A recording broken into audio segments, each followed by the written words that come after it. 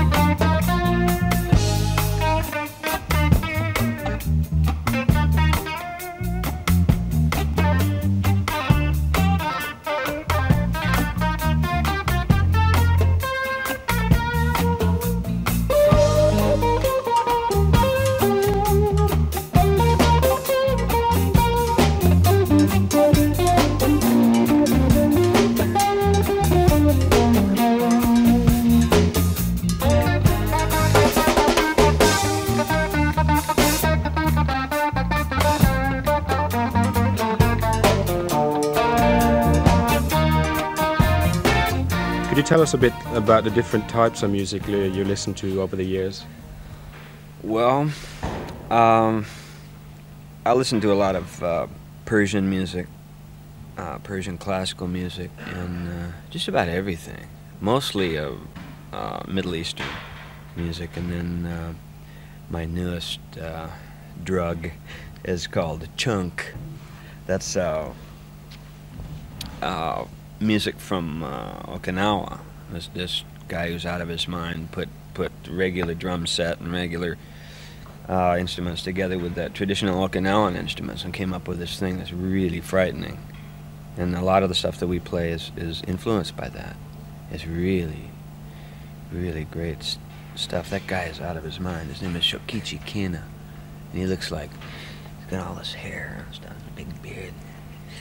He looks like an animal. He's a really wonderful cat. Plays fantastic guitar. So the different forms of music that you listen to over the years have sort of shaped your your way of, of doing things, uh, sort of gelled into a, a whole way of putting your music over to.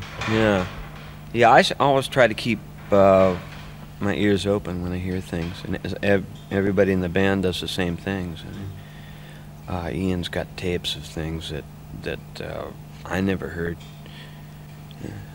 That's a Ian right man. And Baboo, Baboo tapes and tapes has, has tapes and tapes, and, and Jorge Uh-huh. uh, and Bernie too. we all got tapes, and we listen to them all the time, Yeah. all the time. Books of knowledge. Books of yeah, really. Uh, there's, as I said, there's a heavy reggae influence on um, on the new album, and uh, is is reggae music uh, a, a difficult form of music to master? It's it's a funny thing. Uh, uh, there's not very many American musicians who can play it. Um, I'm from England, and uh, I sort of knew people like Baboo for years and years, and that's how I learnt to play it.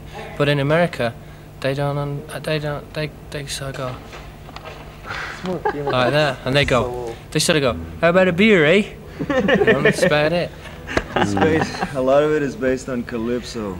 You know, it's like to me, reggae is a fusion of calypso, early rock and roll, doo wop stuff. You know, it's it's all like you know, like they heard this certain thing and they mixed it up with calypso in the island, and it came out to be reggae, rhythm and blues too. So you know, whoever has overlooked that aspect of uh, rock and roll history does not know how to play it.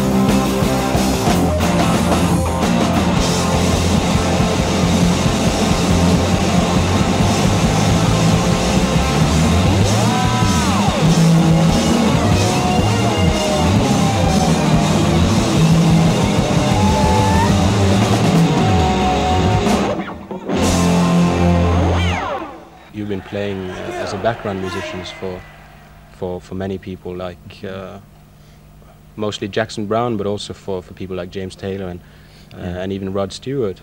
Uh, this solo career or, or wi- your career with a band now, does that mean that you you won't ever ever do tours with other other people again?